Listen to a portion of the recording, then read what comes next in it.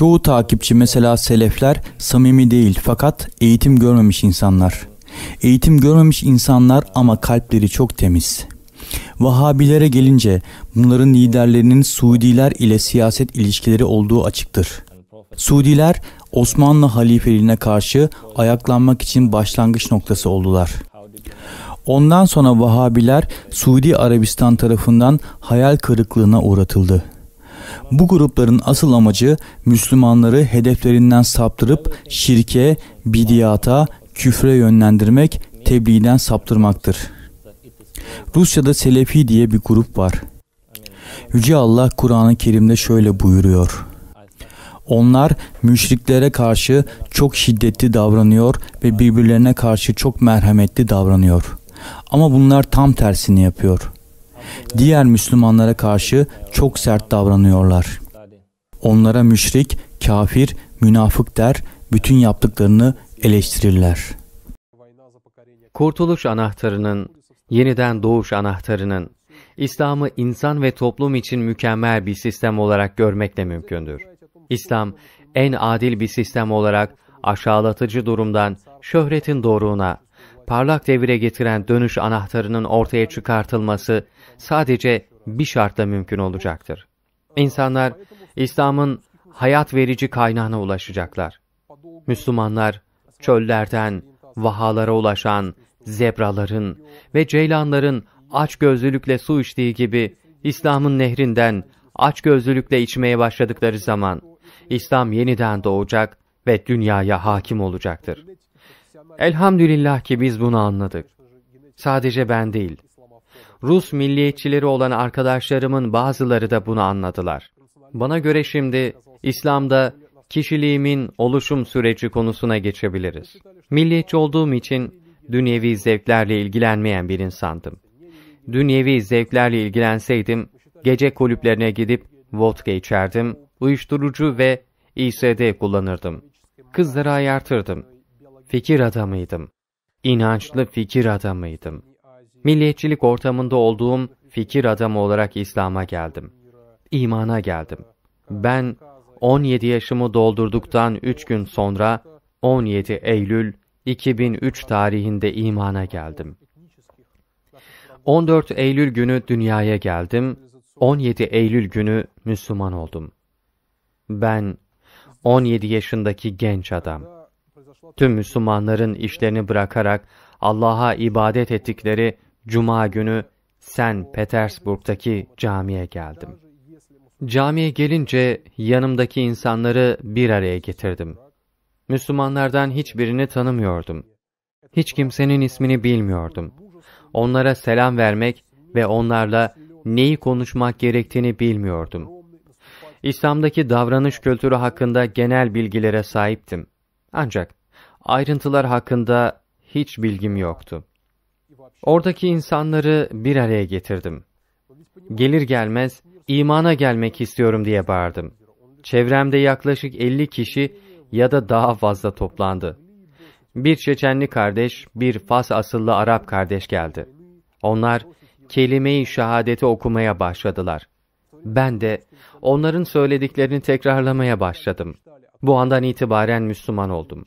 Müslüman olduğum gün camiye yakın bir yerde kutlanan İslami düğüne davet edildim. Все, все мы принадлежим к той или иной национальности. Зачем от нее отказываться? Что значит меня нет İnsanlar İslam'ı kabul ettikten sonra zırh ile korunmuyorlar ki. Aynı kusurları devam ediyor.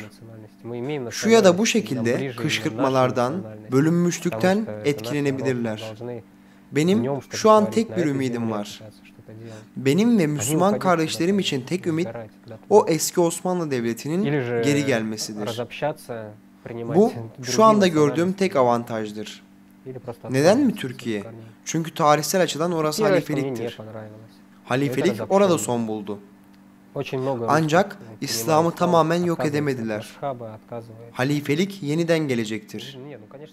Dünyada İslam'ın tekrar güçlenmesi, ümmetin birliğe kavuşması için bu benim umutla beklediğim tek olumlu beklentimdir. Peki diğer ülkelerde neler oluyor? Birçok Müslüman arkadaşımdan öğrendiğime göre Aslında en iyi İslam üniversiteleri ve okullar Şam'daymış. Ancak orada eğitim alanlar bugünkü durumdan dolayı üzülüyorlar. İnşallah bir gün ben de oraya gidip Arapça ve fıkıh eğitimi almak istiyorum. Çünkü herkes burayı tavsiye ediyor. Şiiler hakkında şunu söyleyebilirim. Şiiler Arap dünyasına hakim olmak istiyorlar. Bence onlar gerçek Şia değil. Onlar Hazreti Ali'yi gerçekten sevmiyorlar. Hatta onlar Hazreti Ali'nin şerefini karalayan insanlardır. Şeyhim Abdülkadir Es-Sufi diyor ki onlar Sunni Müslümanlar olamazlar. Ben tamamen onu takip ediyor ve ona itimat ediyorum. Bizim şeyhimiz Mevlana Şeyh Nazım'ı isteyen herkes gidip ziyaret edebilir. Kuzey Kıbrıs'ta Lefki adında bir kasabada oturuyor. Şeyhi tanımak ve onu yaşamak isteyen herkese kapısı açıktır. Misafir olabilirsiniz, orada kalabilirsiniz. Sizi memnuniyetle ağırlayacaktır. Oraya gittiğinizde Peygamber Efendimizin sallallahu aleyhi ve sellemin nasıl yaşadığını göreceksiniz. Çünkü onun gibi yaşıyor. Şeyhin yaşantısı tıpkı hadislerde anlatıldığı gibi. Şeyh yıllardır her akşam vaaz verir. Mesela Vahabiler diye bir akım var. Bu Vahabi denilen akım haşa dine reform getirmek isteyenlerden birisiydi. Öncülerde Muhammed Abdülvahhab adında birisidir. Vahabiler adı buradan geliyor. Kimin nereden aklına böyle bir akım kurmak gelir? Müslümanların yüzde 90, 95 böyle bir sapık akıma sıcak bakmıyor. İlgilerini dahi çekmiyor. Belki sapık mezhep demek daha doğru olur. Bunun temel nedeni paradır. Petrol yani para olmasaydı Vahabiler diye bir şey olmazdı. Allah diyor ki zikrullah yapın. Allah Allah deyin. Fakat onlar dolar dolar diyorlar. Bizler dünyadaki milyonlarca Müslümanlar gibi orta yolu tutanlardanız. İtidal üzerine olanlardanız. Fakat her zaman bir şeyh ve talebe münasebeti vardır. Osmanlı sultanlarının her zaman danışman olarak şeyhleri vardı. Şimdi de İslam ülkeleri diyor ki, hayır bu artık eskide kaldı, biz bunu istemiyoruz. Bu bana kendi gençlik zamanlarımı hatırlatıyor. O zamanlar anne ve babaların yaptıkları çocuklara itici geliyordu. Her şey modern olmak zorundaydı. Aklıma daha başka bir örnek geldi. Eskiden Almanya'da ahşap evler vardı. Hepsi yıkıldı. Çünkü modern görüntüye uymuyorlardı. Şimdi büyük şehirlerde yaşayanlar bu ahşap evler için neler vermezlerdi.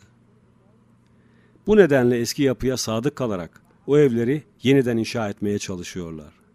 Çünkü çok iyi bir yapı tekniği olduğu anlaşıldı. Ama benim gençlik zamanımda modern olmadığı gerekçesiyle yıkılmışlardı. Ve beton yapılar diktiler. Bu anlayış Mekke'de de hakim. Her gün beş kez yöneldiğimiz Allah'ın evinin etrafı gökdelenlerle donatılmış. Eski fotoğraflara baktığımızda Kabe'yi siyah örtüsü içerisinde, üzerinde ayetlerle ve etrafında tek tük evlerle ve arka planda dağlar görünüyordu. Bugün etrafında gökdelenden başka bir şey yok. Vahabiler bu anlayışı devam ettirmek istiyor ve bütün İslam dünyası da buna seyirci kalıyor maalesef. Kimse ayağa kalkıp bir şey söylemiyor. Yeni projeleri de Mescid-i Nebevi'yi yıkmaktır. Çünkü Medine'deki büyük camiyi 3-4 kat büyütmek istiyorlar. Zaten Peygamberimiz sallallahu aleyhi ve sellemin evi küçücük bir köşede kalmıştı ve onu da yıkmak istiyorlar. Sırf camiyi büyütmek için. Allah diyor ki, ey Habibim seni yaratmasaydım bu alemleri yaratmazdım. Sonra da biri çıkıp geliyor ve diyor ki Nebi'nin sallallahu aleyhi ve sellemin evi yıkılmalı. Veya haca gidenler bilir. Peygamberi vasıta ederek dünyevi ve uhrevi hacetlerimiz için dua yaparız. Bu binlerce hadiste sabit kılınmıştır. Veya mübarek şahıslardan dua isteyebiliriz. Bunu yüzyıllardır Müslümanlar yapar. Birden bu yasak edilmek isteniyor. Bugün Mekke'ye ve Medine'ye hac veya umre veya herhangi başka bir ziyaret için gelip ve Peygamber Efendimiz sallallahu aleyhi ve sellemin evinin önünde dua yapmak isteyenleri Suudi polisi kovuyor. Hem de kaba kuvvet kullanarak. Bu anlamda birçok yanlış davranış mevcut. Bu nedir? Buna ancak aşırılık denir. Ve İslam'da aşırılığa yer yoktur. Çünkü İslam insanları önemser. Kadın erkek ayırmadan insanı önemsiyor. Sadece insanları da değil, tüm canlıları önemsiyor. Bu yüzden İslam mevcut en ideal ekolojik harekat diyebiliriz.